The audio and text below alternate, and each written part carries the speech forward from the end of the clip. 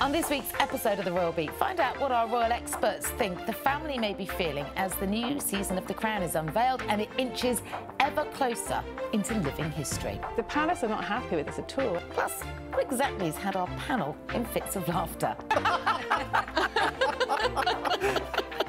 See, it happens to the best of us. You'll have to find out by tuning in to this week's episode of The Royal Beat.